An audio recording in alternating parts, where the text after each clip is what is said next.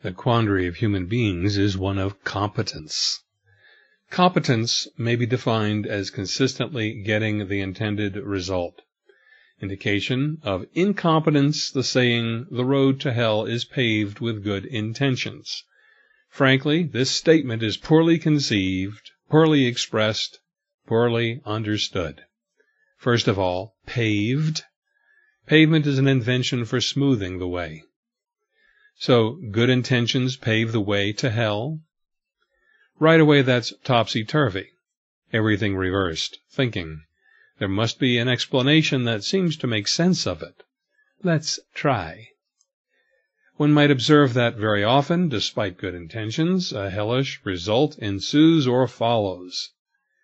Little fires may spring up that seem to require your attention, time, and energy. A certain kind of thinking would then make the so-called a priori error, the notion that because one thing preceded another, it caused the other. Post hoc ergo propter hoc for all you lawyers.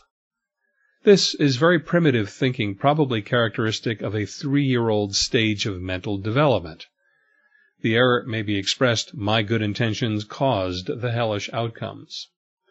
It goes along with I caused that, as in, wherever I walk outside, the moon in the sky follows me. It's a kind of egocentric thinking that acts as if everything that happens has to do with itself. Which, by the way, is a good way of defining the word narcissistic. I caused that, and I'm involved with it. It's the hypnotic mass trance that characterizes the bulk of human cultures.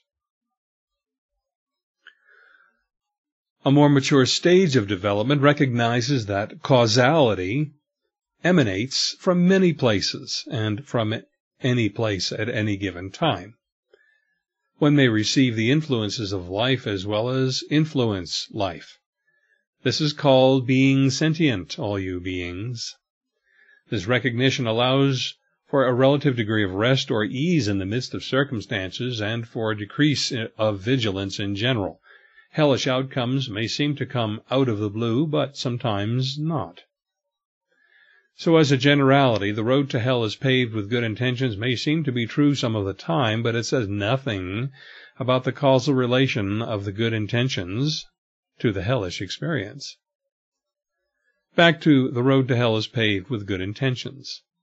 Where's the next weak point? It's the inherent I can't help it of the saying. No matter what we do, things turn out badly. Has to be that.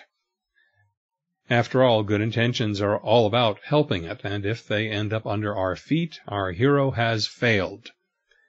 Heroes are all about shared good intentions, good intentions shared between and among us. A hero is a champion of our good intentions. In this anti-hero culture, villains are called or positioned as heroes. This is an Orwellian perversity. For all of these reasons, I can't help it is a common pose. It's the pose of excused resignation, excused mediocrity. I can't help it sets the stage for incompetence. So, mediocrity and incompetence, I can't help it, are the sagacious meaning of the saying, the road to hell is paved with good intentions. How sagacious? Here's another meaning. Movements in the direction of good contrast with the present states of affairs which needs the good. Creative movement in any direction creates a contrast with our memory of the state of things. Contrast intensifies experience. You go for the right and you perceive everything that's in the way of things going right. You perceive everything that's wrong. Let's not get captivated by the wimpy argument that there is no real right or wrong, everything's relative. Not altogether true. Everything that's organized for an outcome different from the one we intend, including our own automatic reactions and emotional conditioning, we experience as unwelcome, as friction, as opposition, as frustration. There's both an external and an internal burn. The contrast burn may be a hellish experience. So the saying, the road to hell is paved with good intentions, is incomplete in itself and therefore misleading. Another line is needed. When you're going through hell, keep going. Winston Churchill said that. His saying implies emergence out of hell. It completely changes the thrust of the saying. The thrust of this saying, when understood this way, points to increasingly higher degrees of competence paid for by an ordeal of transformation, the contrast burn. I can help it if I persist. Learn. Remember. Attend to it, and stay purposefully intent. In short, evolve awake. That's one part. And with that, also recognize that I am working against forces that may make things rather unpleasant, especially if I fail to groom myself regularly of those befouling effects. Thus, the deck is stacked against the evolution of humanity by our own aversion to the burn of transformation.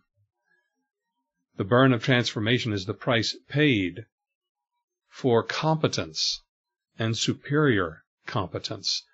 Thus the expressions taking pains and paying the price or paying one's dues. The only ones willing to experience that are those with a compelling creative drive.